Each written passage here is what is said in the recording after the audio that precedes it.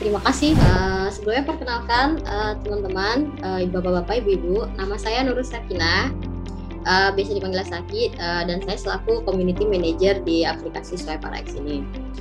Uh, sedikit singkat tentang background saya, dulu saya kuliah uh, kesehatan masyarakat, uh, tapi saya fokusnya ke uh, digital, uh, social media terutama. Jadi uh, fokusnya mempelajari tentang uh, algoritma sosial media, konten dan sebelumnya kalau Pak Iman tadi dosen uh, ngajarin tentang marketing, kalau saya kebetulan uh, riwayat pekerjaan saya mengajar uh, ngajarin UMKM untuk bisa go digital uh, ke sosial media kayak gitu sih.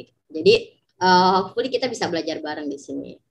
Nah, kali ini kita akan ngejelasin nih uh, Swipe RX Community apa ya? Tadi sebelumnya sudah dijelaskan ya uh, oleh Pak Iman tentang gimana sih pentingnya buat uh, uh, digital gitu untuk apotek. Nah sekarang teman-teman nih sebagai SDM-nya, sebagai uh, tenaga farmasinya gitu, Penti, uh, seberapa penting sih kita untuk update dengan teknologi? Oke, saya akan share. Ya, jadi di era digital ini seberapa penting sih seorang farmasi itu untuk uh, terus mengikuti perkembangan digitalisasi atau teknologi? Nah sebelumnya nih Uh, boleh komen kali ya teman-teman. Ada yang suka nyari tahu nggak sih uh, 30 tahun dari sekarang atau lima tahun dari sekarang industri farmasi akan seperti apa? Mungkin coba komen deh. Ada yang nyari tahu nggak? Nantinya industri farmasi seperti apa sih? Dan apoteker dituntut untuk seperti apa? Mungkin boleh komen kali ya uh, di kolom chat uh, yang teman-teman tahu. Sambil teman-teman komen, aku akan share nih berita-berita atau informasi apa aja sih yang akan dibutuhkan uh, oleh seorang farmasi, oleh seorang uh, apoteker atau oleh sebuah apotik untuk bisa menghadapi masa depan. Nah, yang pertama ada skill skill-skill yang dibutuhin buat 2030. Nah, kira-kira teman-teman udah tahu belum skillnya apa dan udah punya apa belum? Nah, jadi di masa mendatang fokus farmasi itu akan jadi customer center online farmasi konsep. Maksudnya adalah uh, farmasi ini akan menjadi center atau pusat masyarakat dalam mencari informasi tentang kesehatan, terutama terkait uh, kurat preventif dan kuratif, dan itu semua dilakukan online. Karena seperti tadi Pak Iman udah share ya, uh, kemampuan dan juga kebiasaan generasi sekarang udah semua ke digital, terutama setelah kita mengalami masa pandemi, di mana kita harus di rumah aja, jadi apa-apa mau nggak mau harusnya online. Jadi uh, farmasi ke depannya akan seperti ini konsepnya. Jadi kalau misalnya teman-teman atau apotek teman-teman kerja masih uh, mengandalkan tatap muka, saatnya nih kita bareng-bareng upgrade nih. Nah, masa depan farmasi itu akan terdistrupsi. Nah, ini udah bahkan udah diprediksi gitu. Ke depannya akan ada banyak disruption atau akan ada perubahan dan transformasi dalam hal uh, operasional uh, farmasi. Nah, kalau terjadi perubahan, ada transformasi dalam hal teknologi, yang paling penting untuk bisa mengadopsi itu adalah siapa? Kita sebagai tenaga kesehatannya. Gitu. Jadi, kalau e, kita sebagai tenaga farmasi yang nggak update, nggak bisa mengikuti perkembangan teknologi, siap-siap akan kegilas dan terganti dengan orang-orang yang bisa beradaptasi lebih cepat dalam menguasai teknologi. Jadi, dengan ada perkembangan teknologi, kita juga harus update skill kita gitu. Kalau kayak misalnya kalau saya di kesehatan masyarakat zaman dulu, kesehatan masyarakat kalau ngedukasi masyarakat tuh door to door, keliling rumah warga atau ke puskesmas atau atau bikin poster. Nah, kalau pandemi gimana caranya bisa ngedukasi masyarakat? Nah, itu dia makanya penting uh, juga uh, tenaga kesehatan mempelajari digital, teknologi, konten karena biar bisa merich atau menjangkau lebih banyak lagi audiens dalam mengedukasi masyarakat terkait kesehatan. Nah, ada lagi nih tren di masa depan farmasi akan seperti apa. Nah, ini juga sudah dikasih tahu nih, masa depan farmasi itu akan ada di teknologi dan automation atau serba otomatis yang artinya udah nggak lagi nih teman-teman manual ngecekin stok uh, di apoteknya atu-atu atau nggak perlu lagi manual dicatin di buku atau atau ada stoknya berapa dan apa aja gitu. Sekarang udah ada banyak tools dan teknologi yang bisa mengotomatiskan itu. Kemudian untuk uh, promosi udah nggak lagi atu-atu sebar uh, flyer misalnya atau uh, hanya mengandalkan neon box atau hanya mengandalkan banner nunggu orang lewat teman-teman sekarang udah bisa jemput bola dengan membuat konten dengan menggunakan sosial media untuk bisa mempromosikan apotek teman-teman uh, teman-teman kerja ke seluruh masyarakat dan itu biayanya tentu saja lebih mudah karena platform sosial media gratis. So, jadi ada banyak banget channel dan kemudian untuk penjualan seperti sebelumnya Pak Umar Pak Imam uh, Pak Iman sudah menyenggol sekilas tentang penjualan di marketplace itu juga bisa jadi salah satu uh, tantangan yang bisa kita coba gitu untuk mempromosikan produk teman teman-teman terutama obat yang memang diizinkan untuk dijual bebas ya itu bisa juga dijual nanti aku akan kasih juga contohnya apotek mana aja sih yang sudah mengadopsi teknologi dan apoteker siapa aja sih yang sudah mengadopsi teknologi untuk mengedukasi masyarakat dengan platform digital. Oke, jadi ikutin terus sampai akhir ya. Nah, itu dia tadi ya udah banyak banget orang yang berpikir farmasi ini akan berubah, nggak bisa kayak gini terus gitu. Karena teknologi juga selalu mengupdate. Jadi nggak bisa kita uh, di dunia kesehatan uh, diem-diem aja nih, kalem aja nih, nggak ada perubahan. Nah, jadi untuk kita bisa adaptasi itu banyak banget memang skill yang dibutuhin tapi kita akan rangkum lima skill yang paling mendasar dan siapa pun bisa gitu untuk uh, meningkatkan skill ini jadi nggak spesifik uh, skillnya itu uh, harus orang lulusan IT atau orang lulusan marketing misalnya nah tapi ini siapa pun bisa mempelajari gitu asal teman-teman uh, mau tentu saja mengupdate dan mengupgrade dirinya yang pertama apa sih skill yang bisa membawa kita untuk bisa lebih beradaptasi dengan teknologi Nah, yang pertama namanya cognitive flexibility. Ini maksudnya apa sih? Ini maksudnya adalah kemampuan beradaptasi dengan hal baru atau gagasan baru. Mungkin kalau bahasa anak sekarang, bahasa gaulnya open minded kali ya. Jadi setiap ada gagasan baru, ada teknologi baru, sebisa mungkin kita terima dulu nih, kita lihat dulu nih. Uh, teknologi ini bisa memudahkan saya untuk berkarir di bagian apa ya gitu. Jadi jangan langsung nolak atau blok gitu. Wah, saya nggak mau pakai ini, saya udah biasa ini gitu. Nah, itu bisa kalau kita sudah menolak duluan terhadap gagasan baru atau teknologi baru itu justru akan menyulitkan kita untuk mengupdate diri kita. Karena kita akan nggak akan ngerasa tuh kita butuh upgrade kan. Karena ngerasanya nggak butuh nih nggak butuh info ini gitu. Jadi penting banget buat kita selalu terbuka sama ide-ide dan gagasan baru. Nah tapi kan nggak semua bisa diterapkan. Yes betul. Makanya kita butuh skill yang kedua digital literasi di sini maksudnya apa? Maksudnya uh, kita terutama teman-teman kan nantinya juga akan menjadi manajer atau bisa jadi mungkin owner dari suatu apotek di masa mendatang atau mungkin tahun ini amin ya. Nah, tentu saja perlu tahu apa aja sih yang update di dunia digital. Yang pertama terkait promosi. Gimana sih menggunakan sosial media buat promosi?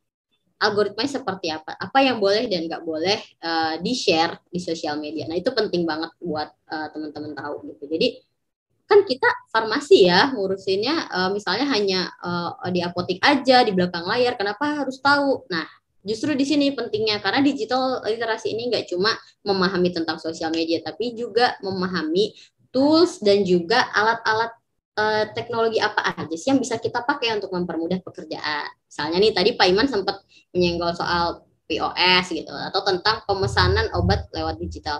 Kalau dulu mungkin harus nyari info ya PBF ada apa aja teleponin satu-satu punya obat ini punya obat itu enggak itu akan butuh uh, waktu dan sangat menyita waktu teman-teman pasti dan keluar pulsa ya kan? Karena harus teleponin satu-satu. Nah kalau teman-teman punya kemampuan digital literasi teman-teman bisa buka Google dan cari tools apa ya yang bisa uh, memudahkan teman-teman untuk uh, melakukan stok obat misalnya. Nah, tadi Pak Iman sudah menjelaskan ada uh, namanya swipe RX belanja. Nah, itu memudahkan teman-teman karena jadi nggak perlu nelfon atu-atu, nggak perlu nanyain harga atu-atu, semua sudah tersedia gitu. Nah, teman-teman tinggal menanalisis aja apa yang dibutuhin. Nah, yang kedua, kemampuan digital literasi ini juga kemampuan memanfaatkan teknologi yang ada untuk kebutuhan teman-teman. Contohnya, mungkin uh, ada yang tahu atau mungkin ada yang belum tahu ya soal yang namanya Google Trend. Google Trend memang saat ini biasa digunakan oleh marketers ya atau uh, pemarketing untuk memprediksi atau mencari tahu apa sih yang lagi dicari tahu masyarakat untuk dibikin jadi konten atau promosi. Nah, ini juga bisa dipakai buat teman-teman tenaga farmasi. Untuk apa? Untuk membuat forecasting obat. Jadi teman-teman bisa menggunakan Google Trend misalnya. Obat apa sih yang lagi trending dicari di Google? Nah, itu Google Trend bisa memberikan kita informasi itu. Jadi, nggak cuma dari data uh, bulan sebelumnya nih, oh bulan sebelumnya uh, obat yang paling laris ini. Oke, itu satu. Tapi kita kan nggak tahu ya kalau masyarakat secara umum nyarinya apa. Nah, kita bisa ke Google Trend, menggunakan Google Trend. Misalnya, ternyata lagi banyak orang yang mencari informasi obat uh, batuk pengencer dahak. Nah, berarti kita bisa bisa memutuskan nih, berarti bulan depan kita harus menyediakan obat apa ya? Karena masyarakat banyak yang mencari itu gitu. Jadi, kita bisa menggunakan teknologi yang ada saat ini untuk operasional uh, kebutuhan teman-teman bekerja gitu. Jadi, jangan sampai uh, kita sebagai uh, generasi milenial dan Gen Z ya di sini itu sampai tidak menggunakan uh, teknologi yang ada gitu akan sayang banget gitu karena ini akan memudahkan teman-teman dan ini tadi seperti aku bilang ya nggak perlu harus uh, lulusan teknologi lulusan IT untuk bisa menguasai ini. Siapa pun bisa yang penting mau mencoba. Yang ketiga nah tadi udah bisa terbuka sama gagasan-gagasan baru terobosan baru terus juga bisa menggunakan uh, teknologi digital yang ada Nah, selanjutnya banyak banget kan informasi yang masuk. Nah, ini yang ketiga. Pentingnya kemampuan judgment dan decision making. Maksudnya apa? Jadi maksudnya kita udah dapat informasi banyak nih, udah dapat sumber informasi, sumber tools, uh, alat-alat atau teknologi yang bisa dipakai. Selanjutnya kita harus punya kemampuan meriset untuk memberikan keputusan mana sih yang bisa kita pakai. Atau misalnya nih teman-teman uh, datang seorang pasien ke apotek tempat teman-teman kerja menanyakan uh, hal terkait obat-obatan misalnya. Nah, itu kan perlu kemampuan judge atau decision making ya. Obat apa sih yang cocok untuk keluhan pasien ini? Nah, itu juga bisa dipakai dalam keseharian dan juga untuk profesional teman-teman. Dengan banyaknya informasi tadi, teknologi tadi, teman-teman yang memutuskan nih uh, apakah perlu dipakai ya tools ini atau saatnya kita mencari tools yang lain gitu. Karena pada akhirnya teknologi itu akan berguna jika manusia yang menentukan gitu. Jadi uh, di sini farmasi itu kan ada yang bilang uh, nanti bisa diganti robot. Nah, aku bisa bilang kalau tenaga kesehatan itu akan tetap butuh sentuhan manusia karena yang memutuskan itu manusianya. Teknologi ini hanya uh, sebagai tools atau mempermudah. Jadi tetap teman-teman harus tetap belajar, tetap mengupgrade diri agar bisa melakukan riset atau memberikan keputusan terhadap uh, baik kesehatan atau baik terkait uh, resep pasien dan sebagainya karena pada akhirnya itu tetap judgementnya dari uh, kita sebagai profesional kesehatan. Gitu. Jadi tetap penting ya untuk selalu mengasah kritis di diri sendiri gitu. Jadi jangan sampai ngambil keputusan yang salah. Nah ini kan semua bidang apa pun penting nih punya skill ini. Nah, yang keempat, ini yang sepertinya saya bisa bilang paling besar posisi ya, skill ini dibutuhin sama tenaga kesehatan, emosional dan social intelligence. Kenapa? Karena tadi kita ini bergerak di bidang kesehatan. Yang kita hadapi adalah masyarakat, pasien gitu. Nah, itu butuh kemampuan berempati, butuh kemampuan bisa berkolaborasi dengan berbagai stakeholder. Nah, misalnya contohnya, aku pernah lihat ada apotik yang juga memberikan pelayanan uh, untuk uh, apa namanya tensi darah. Nah, itu menurut aku uh, termasuk berarti care banget nih apoteknya sama masyarakat di sekitar uh, apoteknya dia. Jadi dengan demikian orang nggak cuma datang ke apotek kalau sakit doang, tapi kalau dia lagi aduh pengen ngetes nih uh, darah uh, aku gimana ya gitu. Jadi bisa juga jadi apotek ini nggak cuma sekedar untuk uh, kuratif tapi juga bisa untuk uh, preventif masyarakat di sekitar gitu. Jadi kenapa penting banget emosional dan sosial intelligence. Jadi kita harus memahami juga nih dan bisa berempati masyarakat di sekitar kita saat ini sedang apa sih. Jadi kita bisa memberikan edukasi kesehatan yang dibutuhkan. Dan kayak tadi Pak Iman juga sempat bilang gitu, sebagai tenaga farmasi, kita juga harus punya kemampuan komunikasi yang bagus. Jadi pasien seneng gitu kalau datang ke tempat kita kerja ke apotek kita gitu. Jadi kita bisa memberikan informasi yang reliable yang terpercaya dan pasien juga jadi bisa menerima dengan mudah oh di kalau datang ke apotiknya Mbak Yulia misalnya saya itu dijelasin detail loh nggak cuma soal obat tapi dijelasin juga nih gaya hidup khas seperti apa yang harus saya lakukan biar saya cepat sembuh. Nah itu pasien akan sangat senang gitu. Kalau teman-teman bisa uh, nggak cuma sekedar memberikan ob informasi obat tapi juga bisa memberikan uh, suggestion atau anjuran-anjuran uh, pada pasien yang hadir. Nah karena di masa mendatang di, dengan adanya persaingan dan teknologi yang bisa kita pegang adalah hati manusia uh, atau perasaan manusia gitu. Karena pada dasarnya uh, manusia hanya mau berurusan atau berbisnis dengan orang yang bisa bikin dia nyaman gitu. Jadi uh, walaupun uh, pemesanannya mungkin lewat teknologi ya, lewat aplikasi, promosinya lewat sosial media. Tapi pada akhirnya orang akan balik ke kita kalau kita bisa memberikan value dalam hidup mereka. Nah, itu dia makanya kemampuan kita mengenal emosi orang, bisa berempati itu penting. Nah, yang terakhir. Ini dia kemampuan untuk berpikir kreatif dan inovatif. Nah, seperti tadi aku contoh sekarang tuh udah mulai banyak nih apotik yang nggak cuma ngandelin promosi di apoteknya dia aja, ada yang sampai bikin TikTok, bikin Linktree, bahkan sampai menggunakan marketplace untuk mempromosikan produknya gitu. Tentu saja produk yang diizinkan ya, jadi uh, cuma yang boleh di, uh, dijual untuk umum gitu. Nah, itu butuh kemampuan kreatif dan inovatif gitu. Jadi kalau teman-teman menghadapi situasi masalah, aduh, kayaknya nih kok di apotek ini uh, penjualan turun terus ya, kenapa ya? Nah, kayak uh, kalau kita cuma melakukan hal yang sama berulang-ulang mengharapkan hasil yang beda itu mustahil. Kenapa? Makanya kita penting banget punya kemampuan bisa berpikir kreatif dan inovatif. Jadi, ketika ada masalah, kita aware nih, peka ada masalah nih yang terjadi dalam pekerjaan atau profesional. Kalau kita tahu ada masalah, kita akan dituntut nih gimana ya caranya biar bisa keluar dari masalah ini. Nah, itulah di situ penting kemampuan untuk bisa berpikir inovasi. Misalnya contohnya ya, uh, saat ini lagi pandemi nih, uh, di mana orang-orang serba online maunya. Nah, di inovasi apa sih yang bisa dilakukan di tempat kerja saya? Yang pertama, mungkin bisa menawarkan jasa uh, konsultasi obat. Karena masyarakat ketika berobat ke dokter dan mendapatkan obat, oke okay, ya udah. Tapi selanjutnya mereka misalnya kalau antibiotik itu maksudnya harus diminum terus tiga kali sehari itu apakah tiga kali sehari bebas nih misalnya jam 8 kadang-kadang jam satu, kadang-kadang jam tujuh kan masyarakat nggak tahu ya. Nah, itu peran kita di sini juga penting gitu buat mengedukasi yang dimaksud uh, untuk penggunaan obat antibiotik harus seperti ini dan tidak boleh putus dan sebagainya macam. Nah, jadi teman-teman bisa membuat jasa untuk reminder misalkan gitu. Jadi orang-orang yang beli dari apotek teman-teman, wah uh, uh, ini banget nih kayak terharu banget ada ternyata bisa diingetin karena kan kadang orang lupa minum obat ya terutama kalau pagi gitu.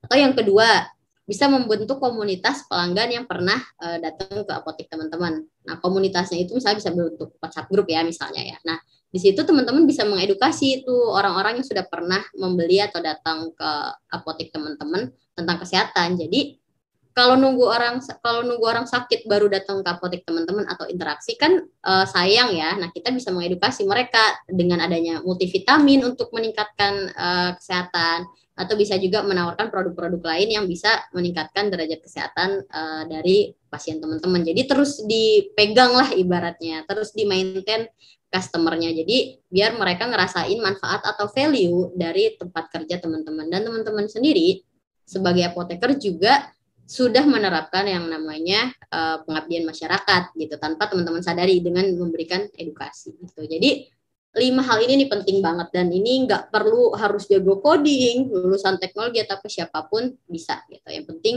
selalu update nih dengan apa yang terbaru. Dengan sesimpel rajin nyari info deh gitu. Kayak di luar sana farmasi itu bergerak ke mana sih? Jadi kita bisa siap-siap jangan sampai saatnya tiba kita masih ketinggalan nih skill kita masih skill jadul gitu. Jadi makanya penting banget buat selalu uh, update terkait uh, farm, perkembangan farmasi dan teknologi di sekitar. Nah, pertanyaannya, sebelum kita bisa tahu cara meningkatkan skill kita, kita harus tahu dulu nih tantangan kita saat ini ada apa aja, masalah nggak sih gitu. Karena kalau kita sendiri nggak aware ada masalah, itu akan susah nih kita mencari informasi ya kan, mencari bantuan. Jadi penting dulu nih teman-teman tahu apa sih tantangan dalam uh, kerjaan atau profe, uh, profe, personal atau profesional. Nah, aku mau nanya nih, boleh komen ya atau mungkin boleh kasih ini kali ya boleh kasih notes di chat gitu siapa aja sih yang pernah mengalami atau menghadapi tantangan berikut pertama ngejar uh, sertifikat kompetensi profesi atau ngejar SKP nih harus update nih harus kumpul. Nah siapa yang pernah nih ngalamin? Ngejar-ngejar SKP ngumpulin gitu. harus update nih. Atau uh, wah lupa nih sertifikatnya uh, udah mau habis uh, harus uh, diupdate terus gitu. Nah ini ada yang pernah mengalami nggak? Kayak deg-degan nih nyari akreditasi atau sertifikat? Atau mungkin kalau yang mungkin ingin membangun apotek sendiri mikirin nih harus ngurusin surat-surat perizinan dan segala macam. Nah, boleh komen ya siapa yang pernah mengalami. Nah, yang kedua, dulu ini terutama waktu masih offline ya, masih tradisional, itu harus keluar biaya nih atau effort setiap mau ngambil CPD gitu yang terutama VPD yang bernilai SKP gitu soalnya aku pernah lihat nih teman-teman aku yang farmasi harus datang ke workshop di hotel mungkin ya. Jadi dia harus siapin hari keluar ongkos, datang langsung buat ikut workshop, ambil ambil uh, tesnya. Nah, dia curhat itu cukup menyita waktu apalagi kalau dia sudah punya keluarga ya, punya anak dan suami gitu. Jadi harus meninggalkan keluarga dulu walaupun mungkin cuma berapa jam tapi berasa. Nah, itu buat dia tantangan untuk bisa membagi waktu. Nah, saya, mungkin di sini ada yang pernah ngalamin dulu waktu masih belum ada belum banyak ya CPD online atau SKP eh, kegiatan yang ber SKP online mungkin boleh komen. Nah, yang ketiga banyak banget channel lah, website lah, aplikasi lah yang harus diikutin biar buat update kerjaan sehari-hari misalnya. Aduh, mau nyari tahu tentang uh, terkait profesi ke grup-grup Telegram atau grup WhatsApp ini itu. Atau mau nyari info PBF harus googling dulu atau atu nyatetin nomor handphonenya teleponin atau atu gitu. Nah pernah nggak nih ada yang kendalanya kayak gini? Atau uh, dia ada petu pernah dapat tugas untuk mengurus perizinan apotik? Wah nyari infonya ke mana ya? Gitu. Nah kalau ada yang pernah boleh komen nah yang keempat harus update terus nih karena kayaknya kemarin baru tahu peraturannya A deh tiba-tiba kok yang ini B gitu Nah, pernah nggak ngerasa ketinggalan informasi nih kalau terkait farmasi gitu atau oh baru tahu kalau ternyata sekarang uh, untuk menjadi TTK minimal D3 misalnya kayak gitu. Jadi uh, suka kurang update gitu. Jadi benar-benar uh, kendalanya adalah nyari informasi update tuh di mana sih? Gitu. Pernah nggak ada yang ngalamin? Kemudian aduh mau sharing sama diskusi nih terkait kerjaan kayak kok ada pasien nih atau dapat resep dari dokter nggak ngerti nih tulisannya apa bisa ada yang bantu nggak ada bingung kan nyari temen yang bisa diajak nanya ini nah pernah nggak ngalamin kayak pengen banget deh punya kenalan uh, sesama TTK atau sesama apoteker nih bisa nanya-nanya atau sharing misalnya sharing dalam ngurusin perizinan apotik gitu bingung banget nih gitu pernah nggak ada yang ngalamin pengen banget gitu punya bestie ya, bestie yang bisa sharing gitu tentang pekerjaan gitu, kendala-kendala pekerjaan. Nah, yang terakhir. Aduh, kayaknya pusing banget nih mau nyari uh, mau nyari informasi tentang ngurus apotik tuh ke mana sih gitu. Nyurusin bisnisnya juga atau ngurusin tentang operasionalnya, suplai uh, obatnya itu di mana gitu. Bingung banget nyari hubungin satu sama lain itu semua uh, sebenarnya masih banyak ya tantangan yang dihadapi uh, dari teman-teman uh, tenaga farmasi. Nah, ini semua memang tantangan. Tapi tantangan apakah harus dihindari? Nah, seperti yang tadi kita udah bahas sebelumnya, kita harus me mengasah skill kita dalam memetakan sebuah tantangan menjadi opportunity atau peluang.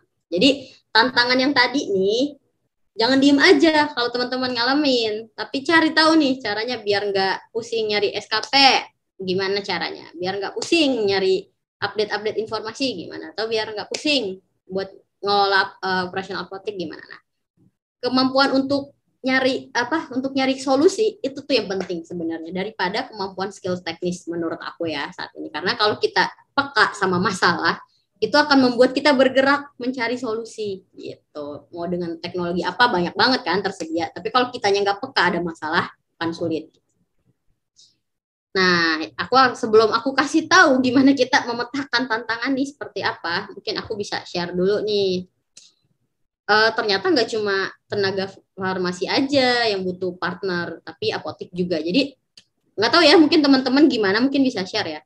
Kok kayaknya ngerasa sendiri ya buat bisa jadi apoteker yang uh, berbakat gitu. Misalnya atau jadi apoteker yang bisa menyelesaikan masalah tuh kayak ngerasa sendiri gak sih gitu? Atau kayak misalnya teman-teman ngelola apotek kayak aduh pengen banget nih curhat atau diskusi sama yang lain gitu.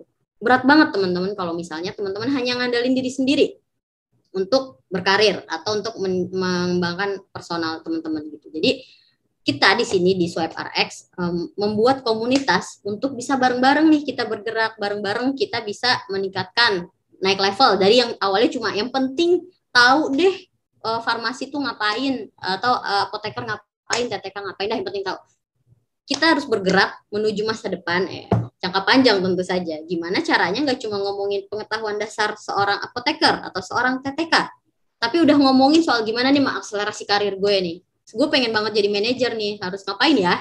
Gitu. Jadi paket tools apa nih bisa biar bisa naik karir cepat gitu. Jadi apalagi anak muda kan biasanya ambil tuh ya uh, buat uh, ngejar uh, ke atas terus gitu. Karena kan semua orang pasti hidup ingin terus naik ya ingin terus improve gitu. Nah kemudian yang awalnya cuma udah yang penting biaya ditekan segala rupa yang penting margin naik nah ke depannya farmasi di masa depan akan lebih fokusnya daripada neken-neken biaya sana sini akan lebih fokus buat mengoptimasi channel penjualan mana yang cocok pro, eh, channel untuk promosi apa yang bisa lebih murah dan bisa menjangkau lebih banyak. Jadi udah nggak mikirin lagi tuh biaya operasionalnya harus ditekan semurah mungkin. Dengan cara apa? Uh, bayar bayar tenaga kerjanya yang murah aja gitu. Nah, di masa depan udah bukan soal itu lagi, tapi udah soal gimana nih channel dioptimasiin. Di mana di masa sekarang mungkin kita yang uh, apotek itu yang penting punya tim yang handal nih buat ngadepin pelanggan dah gitu. Yang penting ada TTK atau apoteker bisa menghadapi pembeli atau pelanggan yang datang dikasih informasi tentang obat dah that's it.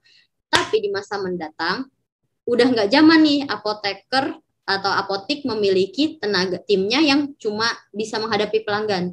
Tapi di masa mendatang apotik itu akan bertanggung jawab teman-teman buat memberikan pembekalan atau ngasih senjata ibaratnya buat timnya bisa lebih baik lagi gitu. Jadi apotik yang bisa bertahan, yang bisa bersaing mengikuti uh, perkembangan zaman adalah apotik yang bisa mem, yang bisa mengembangkan uh, kemampuan personal dan juga profesional uh, apoteker atau TTK yang bekerja di sana. Karena kalau enggak akan pindah ya ke apotik lain. Jadi kalau apotiknya masih berpikir seperti itu, susah nyari nyari timnya. Sayang banget kan. Jadi sebagai pemilik apotik mungkin kalau ada yang hadir di sini ya pemilik apotik atau mungkin manajer apotik bisa mulai pikirin nih apa sih yang bisa kita berikan nih untuk tim di apotek ini nih biar bisa upgrade skillnya biar bisa ikutin perkembangan zaman bisa mengoperasikan uh, tools digital kalau misalnya di dia biarin aja tenaga uh, farmasi di apoteknya mereka bisa akan pindah dengan mudah ke apotek lain yang bisa memberikan uh, pembelajaran atau upgrade skill yang lebih baik gitu karena ke depannya tadi uh, orang akan menghargai skill-skill uh, yang bisa mempercepat uh, bisnis atau skill-skill yang bisa uh, men-scale up atau meningkatkan uh, penjualan atau promosi di apotek ya terutama gitu. Atau kalau misalnya di industri lain juga skill yang dibutuhin kan skill yang ngerti digital dan cepat belajar gitu. Kalau kalau sebagai pemilik apotek atau manajer apotek tidak memikirkan cara mengelola SDM-nya, sayang banget gitu. Akan keting akan kehilangan bakat-bakat talent-talent di apoteknya. Nah, kemudian yang keempat, kalau sekarang mungkin apotek yang penting uh, harganya kompetitif nih gitu. Udah fokusnya harga murah, harga murah gitu. Yang biar uh, pelanggannya loyal. Ya memang pelanggan loyal, tapi kalau teman-teman perlu tahu, pelanggan itu loyal sama orang sama saat ini ya memang loyal sama uh, mau mau apotik, mau aplikasi apa pun sama yang ngasih harga murah promo. Ya mungkin kalau teman-teman suka memesan makanan dari aplikasi online, apakah di sini ada yang setia sama satu aplikasi? Biasanya kan nyari yang banyak promo kan, yang lagi oh lagi banyak potongan harga yang mana nih gitu. Jadi kalau teman-teman masih memakai cara main harga saja, tadi pelanggan akan dengan mudah pindah ke tempat lain gitu untuk mencari obat. Banyak banget soalnya kan yang kalau semuanya pada kompetisinya harga. Nah, berarti di masa depan kayak gimana dong apotik yang idealnya? Nah, idealnya di masa mendatang tadi uh, balik lagi ke poin yang sebelumnya tenaga farmasinya handal dalam mengelola atau memaintain komunitas pelanggannya dengan memberikan edukasi kesehatan rutin, dengan menanyakan uh, progres kesehatannya atau mungkin bisa mereminder atau mengingatkan pasiennya untuk minum obat.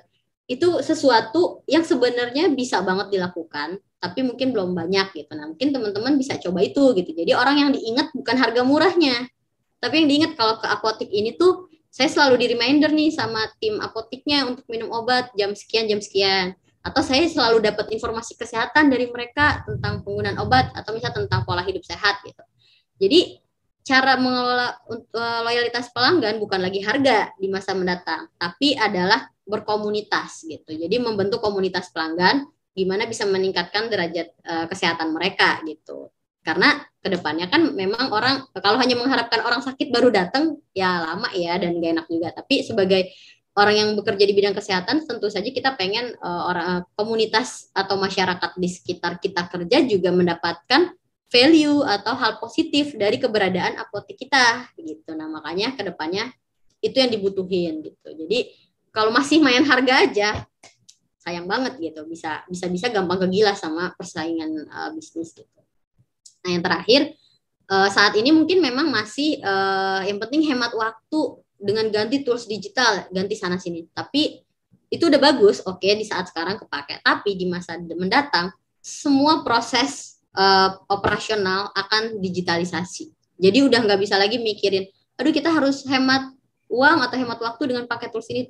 Enggak. Ke depannya kita akan dipaksa pakai uh, segala cara dengan digital. Jadi sebelum kita dipaksa dan terseret-seret dari sekarang kita mulai belajar dulu nih. Oh sekarang ada yang namanya POS oh sekarang ada yang namanya procurement online. Oh sekarang ada yang namanya platform untuk belajar online untuk uh, farmasi gitu jadi dari sekarang udah siap gitu. Jadi ketika nantinya teman-teman udah di posisi sebagai decision maker, teman-teman udah nggak kaget lagi dalam mem dalam memimpin suatu apotik atau tempat kerja teman-teman nantinya gitu. Jadi penting banget gitu namanya update.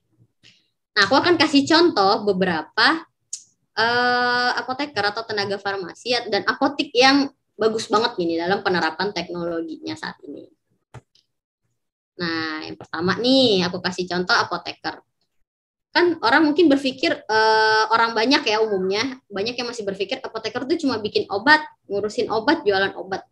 That's it gitu. Makanya mungkin orang nggak ngeh kalau sebenarnya kalau konsultasi obat itu ya ke apoteker.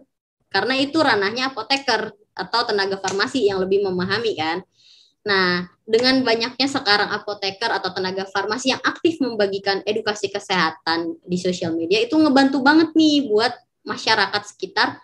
Oh, ini profesi farmasi loh yang bagian mengedukasi kita soal obat gitu. Jadi uh, ini contoh apoteker uh, yang menurut aku atau tenaga farmasi yang uh, bagus banget gitu dalam uh, mengedukasi kesehatan masyarakat gitu dengan cara membuat konten yang mungkin singkat menarik dan menggunakan lagu-lagu yang lagi rame gitu. Ini aku contohnya platform TikTok ya karena rame banget di sana gitu. Orang-orang uh, apalagi selama pandemi kan orang jadi lebih aware ya sama obat-obatan yang harus dia konsumsi. Nah, dengan adanya tenaga farmasi yang aktif di sini jadi ngebantu rame-rame nih. Kalau misal cuma dua orang mungkin ya yang tahu follower mereka berdua ya. Tapi kalau misal kita uh, sebagai uh, tenaga kesehatan, terutama teman-teman tenaga kesehatan farmasi aktif juga nih mengedukasi kesehatan masyarakat di platformnya, orang akan semakin aware. Oh, jadi kalau konsultasi obat itu ke apoteker atau ke tenaga farmasi gitu. Jadi orang sangat semakin aware dengan uh, profesi ini gitu. Jadi akan ngebantu banget. Nah, untuk cara bikin konten atau gimana sih buat konten itu kita bisa belajar bareng gitu. Kayak tadi kan Pak Iman juga ada di Swiper X Academy. Nanti mungkin kalau di community teman-teman bisa request,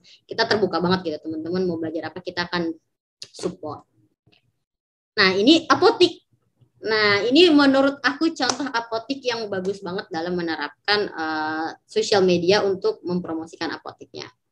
Teman-teman bisa lihat ya, kedua apotik ini followernya udah banyak banget dan uh, top 3 kontennya itu viewersnya udah ribuan atau bahkan ada yang sampai jutaan ya. Nah, mereka itu punya link tree di atasnya tuh di bio. Nah, kalau diklik itu isinya ada uh, informasi atau Google atau alamat uh, dari apotek fisiknya. Yang kedua, link untuk membeli obat atau membeli uh, stok dari apotek tersebut di Shopee atau di Tokopedia atau mungkin ada ada juga link yang nge-direct ke WhatsApp.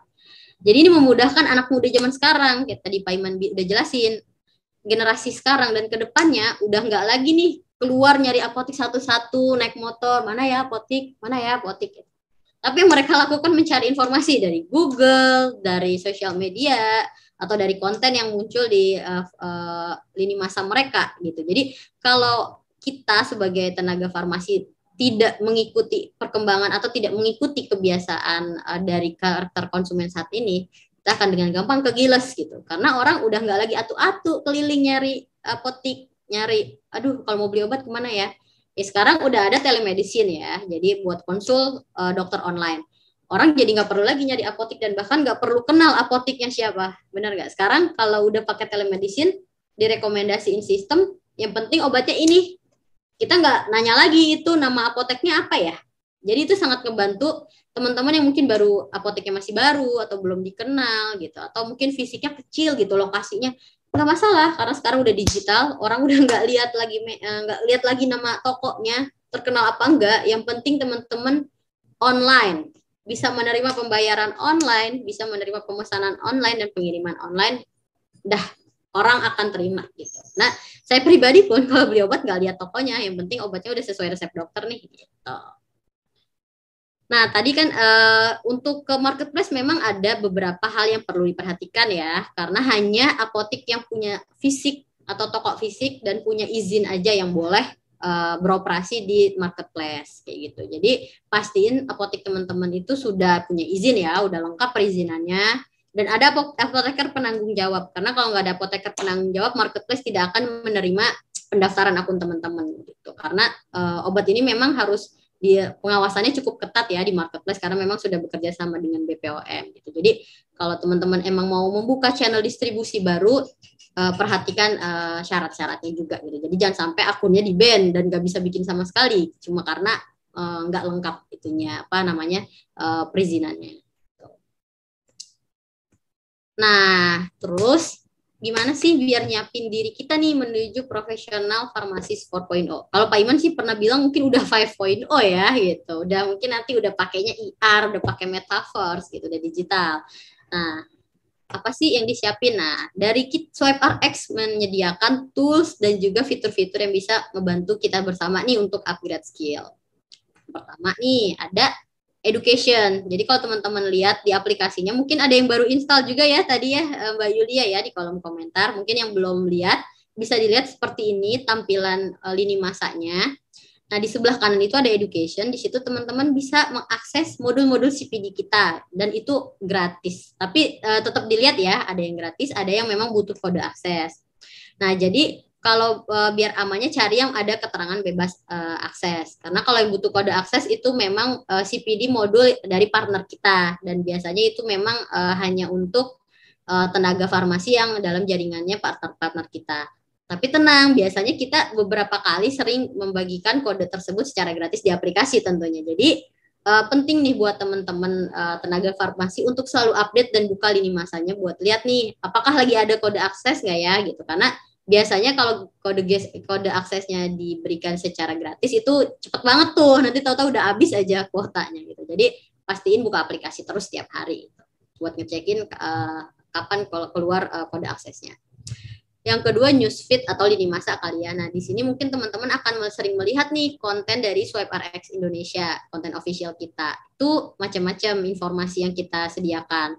Terut, uh, ter, ada informasi terkait COVID, terkait TB, terkait uh, untuk cara membuat apotik seperti apa terkait kesehatan. Nah, ini kita macam-macam informasinya. Nah, ke depannya kita akan membuka banget kesempatan dari teman-teman uh, tenaga farmasi, teman-teman farmasi untuk share ke kita gitu. Mbak Saki, please dong uh, adain konten, misalnya tips tentang uh, cara memberikan pedoman gizi buat keluarga gitu saya juga pengen nih tahu boleh banget. Jadi nggak mesti uh, tentang obat misalnya. Mau bahas tentang uh, keuangan atau misalnya Mbak saya mau mau belajar dong tentang caranya buat meningkatkan self development misalnya. Atau mau ningkatin skill public speaking gimana sih biar jago ngomong kayak Mbak Yulia tadi gitu misalnya.